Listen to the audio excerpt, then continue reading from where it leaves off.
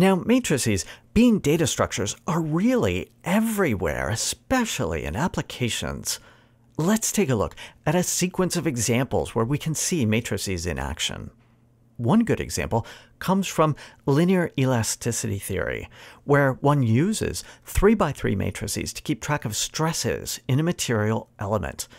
Fix a coordinate frame, let's call the axes x1, x2, and x3. Then the Cauchy stress matrix keeps track of stresses, that is, forces per unit area, with respect to these coordinates. So the entry sigma ij is going to record the stress along the xj axis that is acting in the plane that is orthogonal or perpendicular to the xi axis. And here, i and j are going to range from 1 to 3, and these are bundled together into a single matrix called sigma. Now, the diagonal entries are special. These are called normal stresses that record the, the push and pull.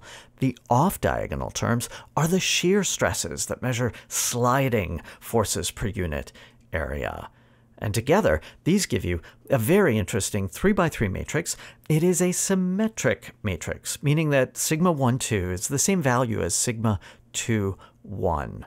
This is very commonly used in elasticity theory, in mechanics. One sees the Cauchy stress matrix all over the place.